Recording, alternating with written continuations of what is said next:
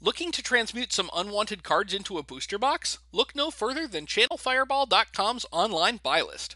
We offer competitive prices on cards from Ancestral Recall to Zombie Master, and we send payments fast via check or PayPal. If you're not looking for cash, we offer a 30% store credit bonus.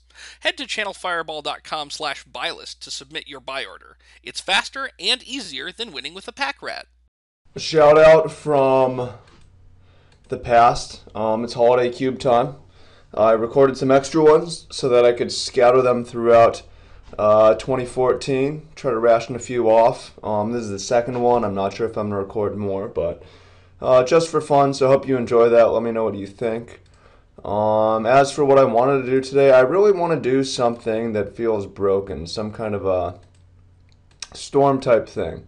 Doesn't even need to be good. I just want to do something crazy. Um, this pack is really weak, honestly. Like, there's a build around in Tooth and Nail, and that's about it. There isn't any power. Um, there is a Bitter Blossom, and Duress is a fine card. Ancient Grudge is actually pretty good in this cube. Um, but, I mean, there's a Signet and a Bayou, and I think those are really the two picks here. Um, me, I'm a man about my Signets. I can't help it. I'm drawn. I have to take Artifact mana. Ideally, I would prefer to take a Mox or some piece of power, but um, I will deal with the Gruul Signet, and then we can decide in the next pack. Um, this pack is speaking my language a little bit. Um, I want to try out Wheel of Fortune. Um, draw seven is kind of the direction I want to go. Not necessarily for winning. I'd like to win, but more for fun. I uh, tried out the the red white um, um, stacks type deck the last time around, and that was okay kind of want to just try out Storm today to do something else, even if it's not the most open. Um, like Bayou or Duress into Liliana or something like that could have been very strong because Liliana is really powerful card um, and probably would like is probably the best pick in here realistically. However, it doesn't play very well with my first pick. Not that that's a very good reason, but um, I would just rather move in a different direction, basically, and, and, and do the Wheel of Fortune thing. But if you're into Liliana, I mean, she's something else too, so there'd be nothing wrong with that. Like Liliana into Bloodghast, Duress, or whatever, that'd be good. Um, as for this pack, Thalia is annoying. Um, I'm seeing some options for a Wheel of Fortune type deck. I see Regrowth, which is exciting. I'm looking at that. Um, I like Solemn Simulacrum. It can be a little uh, obstacle in the mid game that accelerates and ramps us. Um, Mind Stone is always good. Uh, regrowth is the hardest effect to replace, so I'm going to try that. I think Tropical Island is nice. Uh, Mox Diamond, I'm not really into. The card's fine, um, and it would be a decent pick here, but it's it's much worse than it's it's just not the best card. It's it's fine. Like it does weird things for deck building. It it it only really accelerates you when you already have that mana the next turn anyways. So I'm gonna take the regrowth here. Try to move into a deck that's just not available. Well, I'm gonna take a Dark Confidant regardless. This is just a strong magic card, but Confidant would go great with Liliana. That ship has sailed. Um, just a strong card though in general, and I think it would be fine in a deck like this as well, even if we're playing six drops. Um, as for other cards, well, Blossoms is fine. Winter Orb is a really annoying magic card. Um, Bloodstained Mire is good, but we don't really have any dual lands yet, and I'm okay with not picking up mana early because I feel like more will be coming around. Well, the combo thing is really not available, so uh, I'm not sure where to move from here, as this pack offers us uh, no options in that regard. I kind of want to take Greater Gargadon just to play it with Dark Confidant. Obviously, and, and, just wait for the people saying in the chat who aren't wrong that you cannot have good results playing Dark Confidant and Greater Gargadon in the same deck. Um, shout out to Antonino um, and Gerard. Um, as for this pack, I guess Ral Zarek's kind of exciting. It's a Planeswalker. Um, that's the card I'm most excited in. Abrupt Decay is pretty sweet for doing a Jund type thing, but I'm still open to mana, and I'm going to take the Ral Zarek here. I like that card. As for this pack, Um, is nice, but we have no fetches. Bird Alive is nice. Um, Elspeth's a powerful card. I'm going to take Taiga, Taiga. So for a little bit of mana fixing, I do like these, but if we have an old school du dual, that's definitely preferable. Um, Yawgmoth's Will, screw it. I mean, it's forcing. Like, we might not get there. Like, we probably won't get there, judging from how this pack went, but um, I'm going to take the Yogg Will, and someone's going to be very un unhappy that it doesn't come back. As for us, we could have had a straight Jund deck, Duress, Liliana, Tarmogoyf, Dark Confidant, Abrupt Decay, something like that, but, I mean, whatevs. I should really move on. But it's so hard to move on, man. Like, don't you want to just look back in the past and beat yourself up? I know I do. Um, Garruk can't really use. Um, if we're anything, I mean, we have Jund colors anyways. I guess I'll take the Pyroclasm. Um, Del Toxic Deluge is pretty nice, though. I guess I'll take the Deluge. Like, we've got a couple black cards. I've never played with it. I know it's a legacy card. I want to evaluate it see how it is. Sweeper seems pretty good with what we're doing. Well, hell, man. I don't know. There's a Broodmate. There's an Ancient Grudge. This pack's still pretty good for what we're doing. I guess I could move into a regret.jund.regret. Taking a Broodmate. It's a finisher. Um, Ancient Grudge is is really good, but I'm okay with not. Guess I'm gonna take the Broodmate here just for a punchy finisher. Take a lot more waste. We can't really use the rest of these. Koth is kind of nice, but Huntmaster. I'm alright with the Huntmaster. Isn't really a wildfire deck. Well, hell, man. Are we really in Jund? What did I take over Liliana? But a Wheel of Fortune? Everything else actually worked out besides that one pick. Even if we move back in. Alright, I'm taking Shivan Reef so we can splash the Ral Zarek. Um, because Gruul Signet is actually better than anything else we could have picked. Um, I'm not sure about the regrowth pick. Um, Deluge. I mean, we got this stuff that was going to table anyway, so.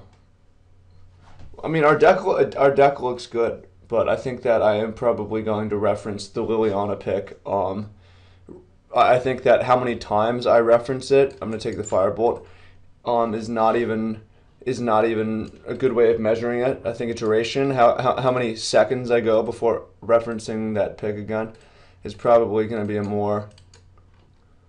Um, I guess I'll take the Vandal. It's probably because. No, I'll take the Basilica. Like, if I don't have a Vandal, whatever. Um, yeah, going by duration is more. Probably be better. So sorry for that, but I'm just like pretty obsessive person, and it can be hard for me to move on at times. All right, this pack is sweet. I see a Chandra. Uh, a Lotus Cobra is the one that I kind of want. It is the one I want. Although I really do want the Chandra too. Um, I see an empty, a Grim Lavamancer, Urabrask, Sensei's Divining Tops. This is a pretty strong pack here. Um, I mean, we could go into the empty thing, but it's not too late. Dot not late. Um, what do you keep saying that? I can't help it. Um, there's Seething Song empty, so we could take empty table one, but it just doesn't really seem available. Cobra is just a very good card. Wait, there's Timetwister too. This fair deck doesn't really seem like a winning thing. Well, hell, man, I'm taking the Cobra. It's just fixing. It could be good in an unfair deck too. Um, yeah, why would I want a fair deck with no disruption? What am I doing? Sneak attack, can't use from what we have. Dreadbore is a thing. Garruk is a thing. Consuming Vapors is a thing. We could move in on Primeval Titan. That's just such a strong card that I kind of want it. But, I mean, it doesn't have much synergy. I guess we could take the Relic do a controlling thing. I said we were going to force man, but we didn't force. Um, we could take an is it Signet is good, but I prefer the Relic. Um, consuming Vapors. It would be an option. Kozilek is too much. kind of want the Relic. It's like just good fixing. I do like Garrick. There's nothing I'm really gonna regret too much here about passing. I think Relic's just a nice fixture. It'll basically let us do what we want to do. Um, is it too late? Should I have taken the time twister? It's not too late. Screw it. I'm moving in. We're moving back in. We're, move, we're moving back in. Um, there's a Thundermaw, a Strip Mine. Bribery is pretty nice. Dimir Signet's really nice. Wasting so many picks, waffling between regret and non-regret. Um, what did I take Lotus Cobra over? Well, here's an Emrakul. Can't really use it unless that thing comes back. It's a Bloodbraid, a Fact or Fiction. I like Faithless Looting with Yogg. Well, screw it. It's just one of my favorite cards. Um, balance is really strong. It's like, why is that card still here? And why am I taking Faithless Looting over it? Well, that would be the fifth color anyways. So, Emrakul, yeah, I shipped on the sneak attack. Here's a Vedalken Shackles, which we can't use. Um, I kind of want to take the Marsh Flats. It doesn't fetch anything yet, but with Cobra, we're going to want fetches. Um, Elves is probably fine. Let's take a fetch. It'll open us up. We have Thoughtseize. Um, yeah, we'll do that. Wonder if Empty the Warrens is going to come back. Ooh, Scalding Tarn is another fetch. However, we could take the Battlelands. Three, four, five, six, seven, eight. It's possible one of these... No, these dual lands will not come back. Um, we could take another fetch. Um, or we could take a land to be fetched. I'm going to greedily take more fetches so that we have enough for the Cobra. It seems probably wrong, but I'm I'm a big greed ball, and I see Lotus Cobra, and I just want fetch lands. Um, Domri is kind of nice. Guide is just probably the best mono red card. Um, here we have a Grand Arbiter, which I don't want to play against. I don't want to really be white though. I'd prefer not to be white. Most of these cards are white. Uh, Magus, Factory, Moloku, Ultimate. These are non-white cards. really not in love with Moloku. Really don't like a Factory in a deck with this many colors. I guess I don't want to play against this. Moloku, don't really like Char. I guess I'm going to take a Moloku here. Just going to sit in the sideboard. For, I'm going to take Lion's Eye. It works nicely with Yogg Will. We'll see. Uh, we're about to find out if our empty comes back. If it doesn't, I don't know how we're going to win. Even if it does, I don't know how we're going to win. Bonfire is good. Empty came back. Alright, I guess I'm going to take it. I really want the Seething Song. Lotus Cobra is pretty weak compared to Song for this type of deck, but it's probably fine. We can actually play some value cards and then maybe try to combo off in the later game, which is probably sounds like a horrible strategy in this cube. But what can you do?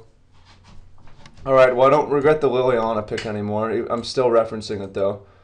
Um, what I do regret is Cobra over Timetwister, I guess. Well, do we really want a third of that effect? I think Seething Song would have been better, and I wouldn't have known that we were going to get the Spiral. All right, here I'm looking at Garruk, I guess, because just on account of everything else being not what I want. Well, we have another fetch which I'm going to take for the Cobra. However, uh, we don't have any lands to fetch with. Price of Progress. Wall of Omens is a good card. Guess I'm going to take it, even though we're not going to want to play white. So we need a we need a hell of a pack three, like power. Uh, this deck will get a lot better with Time Walk. Weird. Uh, Black Lotus. Weird. Um, even like Heartbeat of Spring, Mirari's Wake. We only have one Signet. This is just not a winning deck so far, but good news 1A is we have another pack. Good news uh, 1B is decided I would play a Swiss queue so that if I draft an uncommitted uh, train wreck, um, I can still play three rounds with the horrendous deck I draft in case that happens. But I mean, this looks like a 3060 deck, so um, I'm not too worried about that. Um, welder, uh, I would maybe play with diamond. We don't really have enough artifacts right now, but it could happen. Don't really want to take the mesmeric fiend. I mean, I don't want to play against it, but I also don't want to take it. Oh wait, we have we have the Taiga, so we have the foothills, which gets that. The marsh flats, and the scalding tarn gets it too. Okay, okay, we're all right on that. Flats is just getting a swamp right now, but we do have the fixing, or we do have the stuff to make that Lotus Cobra potentially a pretty strong play. Um, Ral Zarek is a ramper. Tap target permanent, then untap. And Bloodcrap Ring a Ding Ding came back, so the greedy Orzhov, the greedy Marsh Flats was was a bingo. So the Cobra's looking pretty good in our deck at this point.